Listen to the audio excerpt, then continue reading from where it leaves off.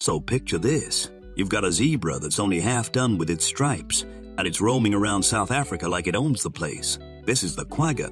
These unique creatures, part of the horse family, became extinct over 130 years ago, mainly because humans just couldn't resist their horse zebra style. In fact, their chick stripes were only at the front, while the back was a stylish brown without stripes. Sounds like an animal fashion statement, doesn't it? Now, let's jump back to the late 19th century when ruthless hunting and a rather poorly planned extermination wiped our stripy friends from the face of the earth. The last wild quagga met its untimely demise in the 1870s, and the final captive one died in an Amsterdam zoo in 1883.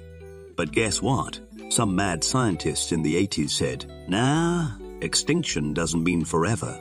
So they launched the Quagga Project and, through selective breeding, introduced a creature similar to the quagga named the Rau quagga.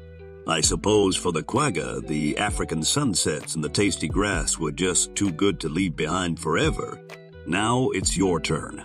Got a year or an animal you're curious about? Drop it in the comments below and we might just delve into another wild history tale you suggest.